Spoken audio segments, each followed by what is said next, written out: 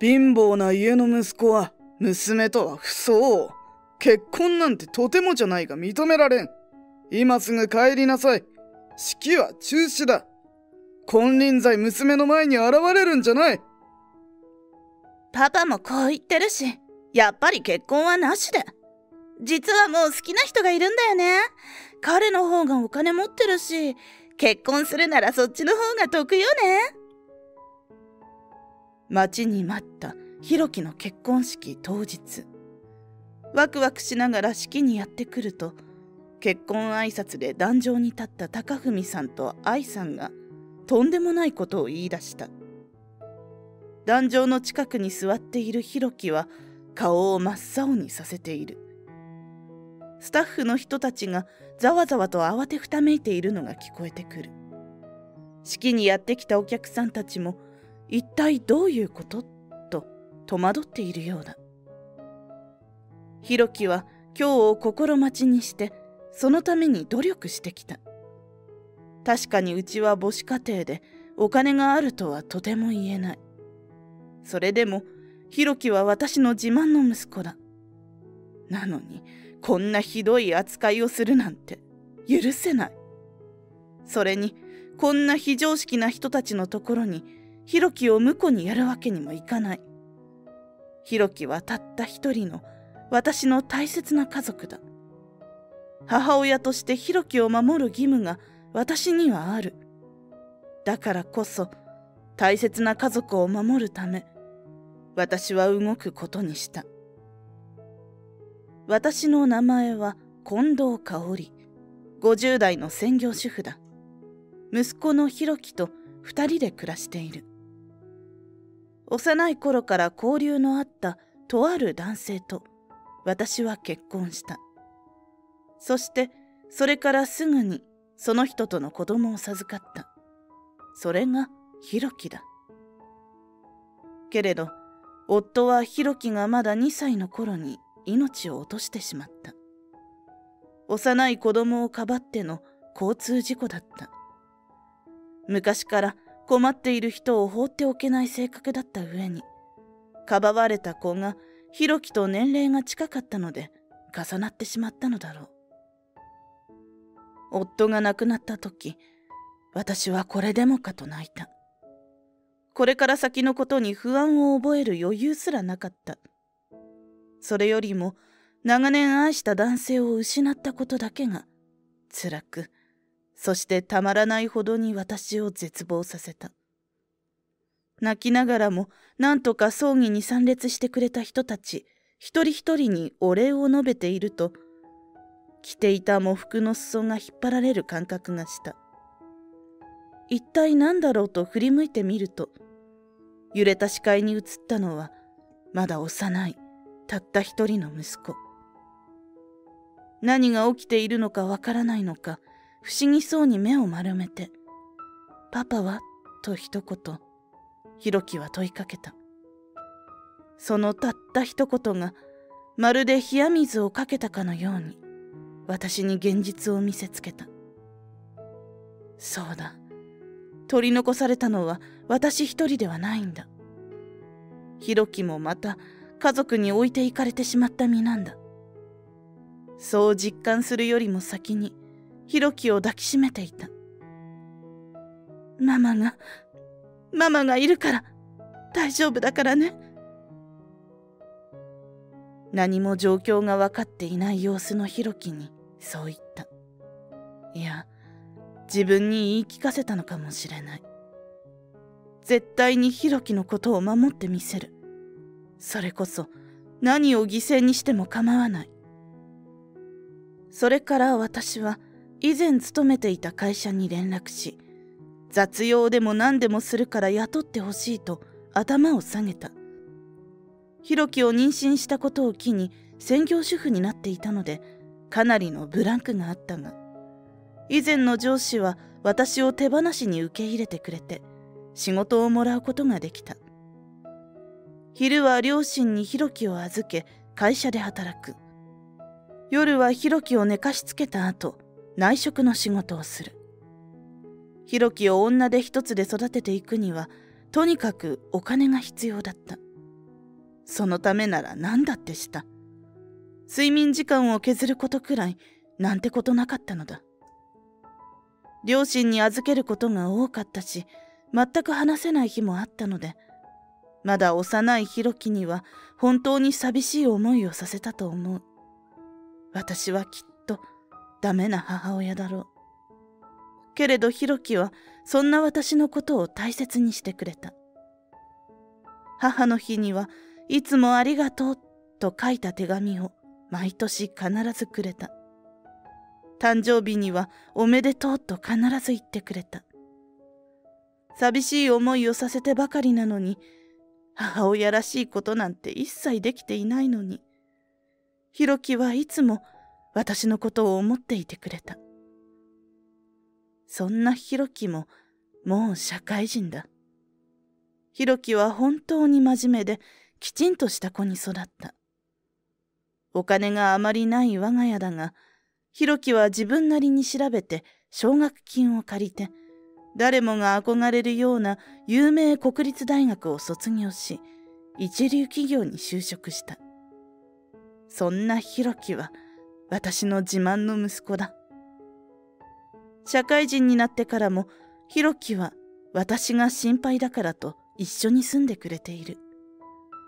親子二人たとえお金が入るようになっても贅沢は決してしないままつつましやかに毎日を過ごしていた。そんなひろきからとある女性を紹介された。愛さんと名乗ったその女性はひろきと交際関係にあるらしい。彼女と結婚しようと思うんだ。そう話すひろきは心なしか表情がこわばっていた。ひろきはどちらかというと緊張をあまりせずいつも堂々としている子だったのでその姿を見て本当にこの人が好きなんだということが分かった。どうやら愛さんはいいところのお嬢さんのようでひろきはお婿に行くことになるそうだ。長い間ずっと一緒に住んでいたので寂しいところはあるのだがそれがひろきの幸せならば邪魔をする権利は私にはない。笑顔でひろきを送り出そうと決めた。結婚するまでの間はまだ我が家にいてくれるのだ。せめてそれまでの間はひろきとたくさんの思い出を作ろう。そう決めて残りの期間を大切に過ごすことにした。けれどそんな私の考えをよく思わない人がいた。それは愛さんだ。愛さんは私とひろきが一緒に過ごすことをかなり嫌がった。私と結婚するんだから私のことだけ考えなさいよ。お母さんのことは二の次。婿に入るんだから何事も私優先にしなさいよ。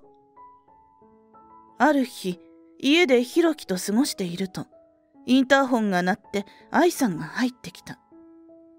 愛さんはどうやら怒っているようでひろきの胸ぐらをつかむと大声でそうまくし立てた。ひろきは何が何だかわからず唖然としている。二人を仲裁しなければと私は声をかけた。愛さん落ち着いて。結婚したらひろきはそちらで過ごすんだから今くらいいいじゃない。ひろきは私のことを思って一緒に過ごしてくれているの。だからそんなに責めないであげてちょうだい。部外者は黙っていてください。これは私とヒロキの問題なんです。今からパパを呼ぶから。パパなら私の気持ちを分かってくれるもの。そう言って、愛さんはスマホを取り出し、おそらく岐阜の高文さんへと電話をかけた。どうやら高文さんは今日は時間の余裕があったようで、愛さんの口ぶり的に今から我が家に来るようだ。とんでもないことになってしまったと、ひろきに視線を向ける。ひろきの表情はこわばっていて、どうしたらいいのかわからないのが伝わってきた。母親としてどうにかしてやりたいのに、どうしてやることもできないもどかしさに苦しんでいると、インターホンが鳴ったパパにはヒロキのことを叱ってもらわないとそう言って愛さんは私たちの了承も得ず玄関ドアを開けた。すると予想通り高文さんが家の中に入ってくる。くるりと内装を見渡して一言「汚い家だな」と罵ると高文さんはひろきをにらみつけた。愛から話を聞いたよ。まだつまらないダダをこねているんだって。言ったじゃないか。娘と結婚したいならさっさと家を出てくれと。君の親は彼女ではなく私たちになるんだ。その自覚をきちんと持ってもらわなきゃ困るよ。腕を組み高圧的な態度で高文さんは言う。確かにひろきは婿に入ることになるのだからそれ相応の態度を取らなければならないという。高文さんたちの主張はわからなくもないがだからといって結婚前からそうしなさいというのはちょっといやかなりの違和感を感じた。そう言われましても以前お話しした通りうちは父がかなり前に亡くなっていて僕がいなくなってしまうと母が一人になってしまうんです。母のことがとても心配なので結婚するまでは母との時間を取りたいと以前言ったつもりですが。困ったように眉をしかめたひろきがそう高文さんに問いかける。けれど高文さんたちは私に反抗するのかとひろきの言葉を聞き入れないまま顔を真っ赤にしてとにかく頭ごなしに私たちを否定してきた。これだから母子家庭って嫌なのよ。まともな常識も教わってないのね。かわいそうに。向こうにもらってやるんだからそれだけで感謝するものだ。この恩知らずが。二人の言葉に辛さを覚えたがそれでも何とか自分を強く持って私たちがおかしいんじゃない。二人がおかしいんだと自分に言い聞かせた。そんな中でも結婚式の準備だけは順調に進んでいたけれどひろきの表情はあまり晴れやかとは言えない。そんな表情に胸が痛んだが私にできることもない。どうしたものかと悩んでいるうちにも式は進んでいった。やがて両家の両親が結婚挨拶をするプログラムまでやってきた。意気揚々と高文さんが壇上に上がり簡単な挨拶を述べる。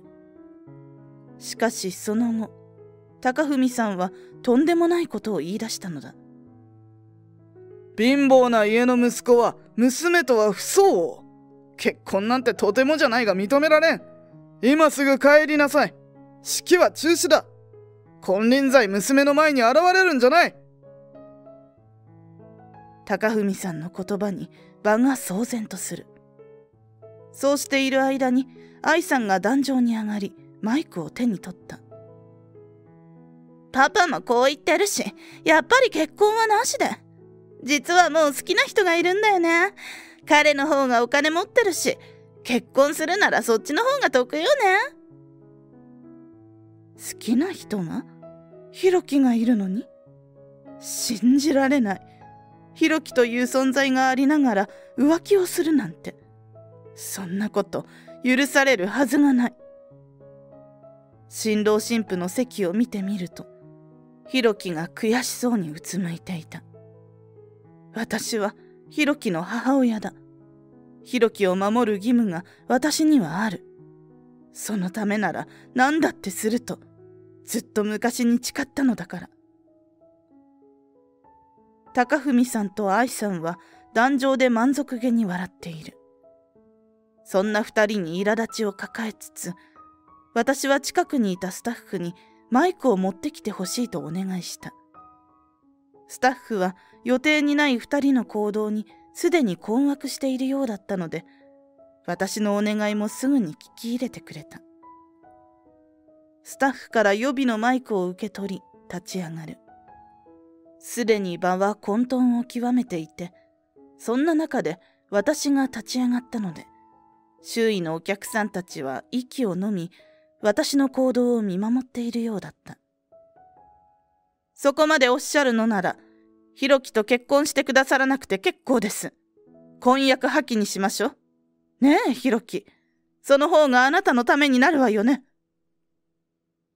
そう言ってひろきの方に視線をやる。スタッフにお願いしてマイクをひろきへと届けてもらう。マイクを受け取るとひろきもまた立ち上がった。婚約は破棄でお願いします。どうやら愛さんには僕ではなく他に好きな人がいるようなので。僕なんかと結婚してしまえば愛さん自身の幸せを追求できなくなってしまう。今までありがとうございました。これからのことは追って話し合いましょう。そう言ってひろきは頭を下げる。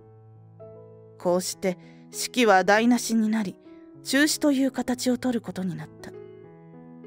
ひろきが心配になって新郎の控え室に行くとかなり落ち込んでいるようで私はひろきの背をなでる。ねえひろき聞いて。私に策があるの。ここまでコケにされて泣き寝入りなんて嫌でしょ？だったらいっそのこと徹底的にあの人たちを地獄に落としてやらない？私の言葉にひろきは目を見開く。そんな作戦が私にあるなんて思ってもみなかっただろう。けれどさすがは私の息子と言うべきか。復讐プランがあると理解するとひろきは「乗った」と私の手を取った。あの二人は散々好きにやってくれた。だからこそ今度は私たちのターン。いつまでも子供のように自分たちのことしか考えられない彼らを徹底的に叩きのめしてやるのだ。いろいろと片付けが終わり家に帰宅すると私はまずとある人に連絡した。話をするのは久しぶりだったがそんな中でも私のことを覚えていてくれたその人は私がこれまでの出来事を嘘偽りなく全て伝えると電話の向こうからでもわかるくらい激怒していた。私たちを散々な目に合わせてきた二人を徹底的に叩きのめしたいと告げるとその人はできる限りのことをやると言ってくれた。正直他人をこの件に巻き込むのは良くないとも思ったがそれでもその人の力は強大なものなので利用しない手はなかったのだ。無事に婚約破棄も終わり一段落がついた頃。ひろきはその日仕事が休みだったので二人でのんびりと過ごしているとひろきのスマホがけたたましく鳴り響いた。高文さんからだ。ひろきのその言葉に身構える。電話に出てスピーカーモードに設定してもらった。すると鼓膜が破けそうなくらいに大きな怒鳴り声が聞こえてきた。ひろきくん君一体なんてことをしてくれるんだ。私たちをこんな目に遭わせるなんてどういうつもりだ？高文さんの声はまさしく激怒しているのが伝わってきた。それほどに大変なことが起こっているのだろう。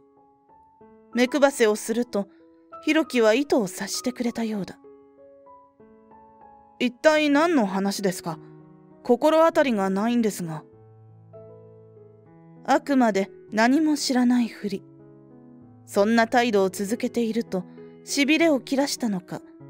高文さんがこれまで起こったことを話し始める。ひろきと愛さんの婚約が破棄され無事日常が戻ってきたと向こうも思っていたある日のこと。懇意にしている取引先から契約を中止したいという話を急にされてしまったそうだ。粗相をしたつもりは一切ないのになぜと取引先を問い詰めると人に対して失礼な態度をとる人間は相手にしたくないとの答えが返ってきた。高文さんはそこであの結婚式のことを思い出したらしい。だがその取引先の社長は結婚式には来ていなかったので高文さんたちがしたあの結婚挨拶も聞いていないはず。それなら一体なぜ？と首をかしげていたところにとんでもない情報が流れてきたというのだ。それはその社長の妹の名字が近藤だということ。もちろんどこにでもありふれた名字だが念のため調べてみるとなんとその社長の妹の夫は私の兄だということが分かった。そう。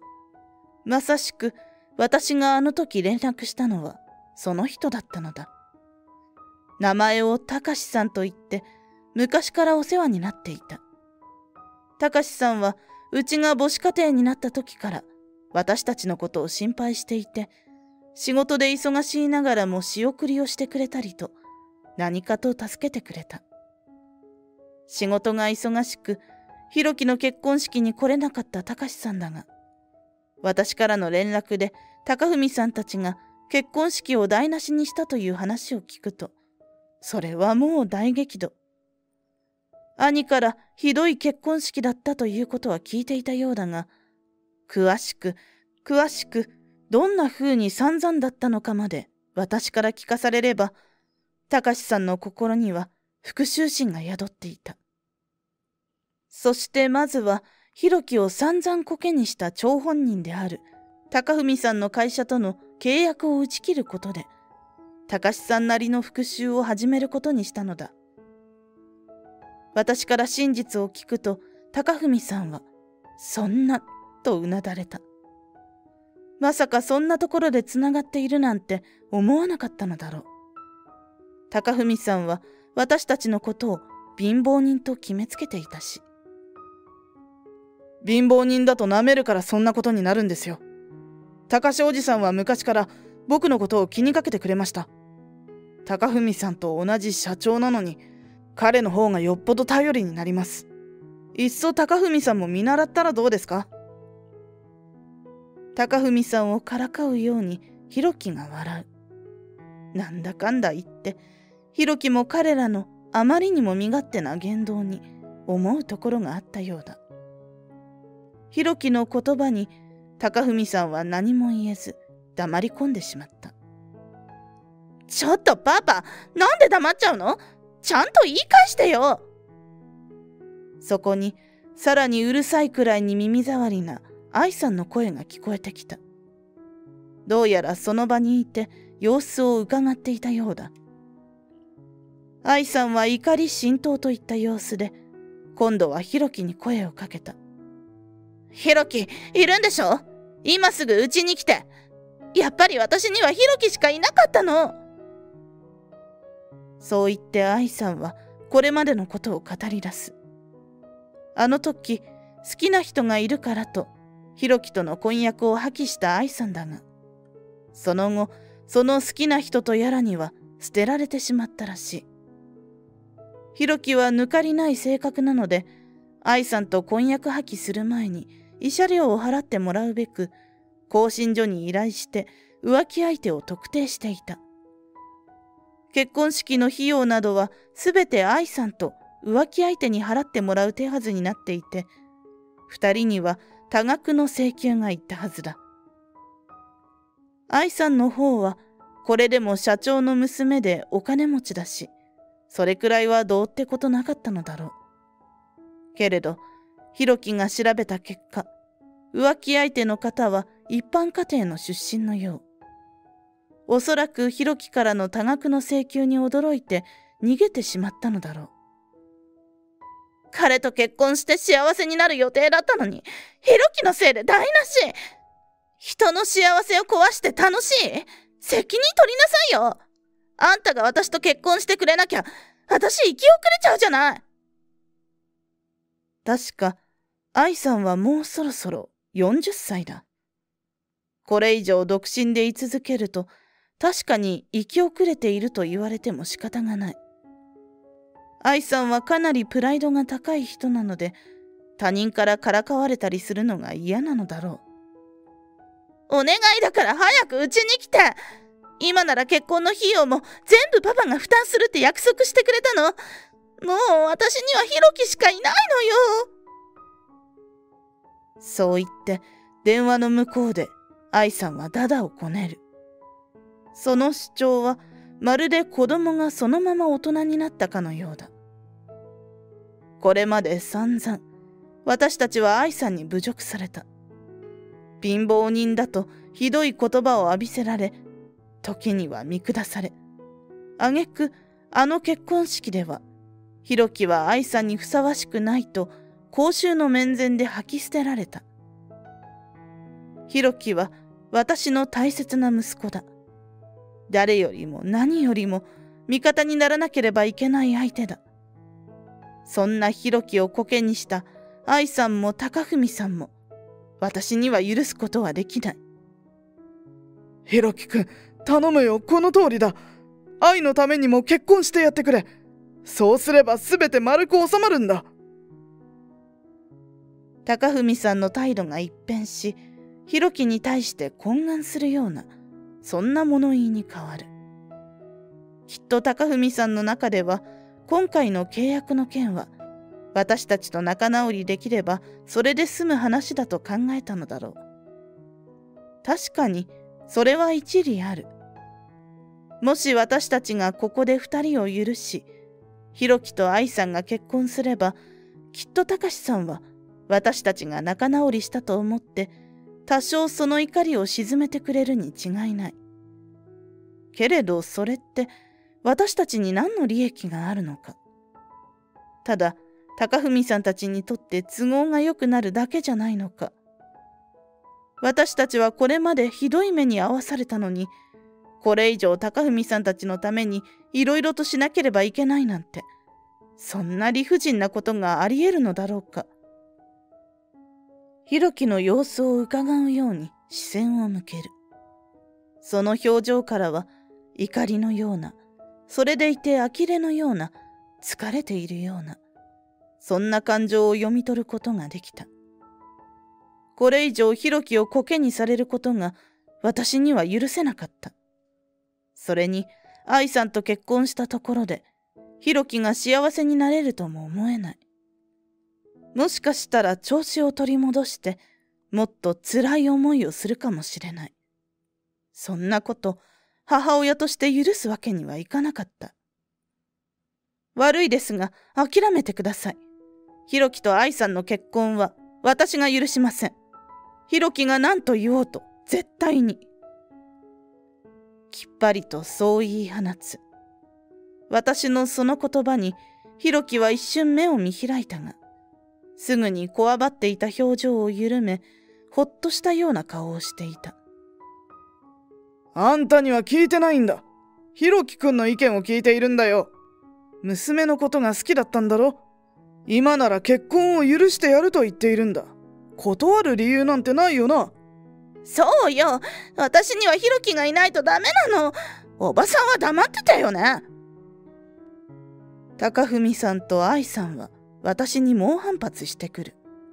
そりゃそうだ。ヒロキの結婚の話なのだから母親の私がしゃしゃり出てくるのは違うだろう。それでもこれ以上愛さんがヒロキに粘着してくるのは許せなかった。別に愛さんと結婚しなくても、ヒロキはうまくやっていけるわ。そもそもヒロキにひどいことをしておきながら、どの面下げていっているの？あんたたちのせいで、ヒロキも私も散々苦しんだんだけど。私がそう言うと、高文さんたちは、そ、それは、と黙り込む。そんな二人に追い打ちをかけるように、ひろきが言った。結婚は絶対にしません。愛さんと結婚しても、俺はきっと幸せになれないだろうから。今後一切接触しないでください。もう僕たちは他人なので。